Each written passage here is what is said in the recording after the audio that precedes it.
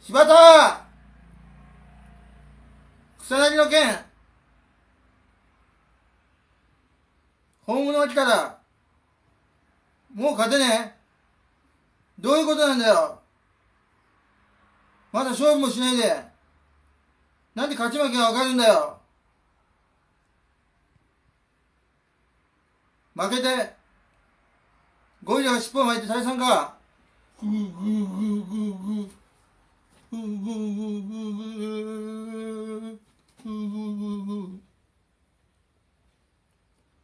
お前な草薙と勝負してこい。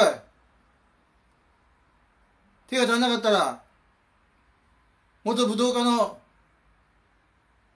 平仮面が応援してやる。お前の骨は俺が必ず拾ってやるから。安心して。行ってこ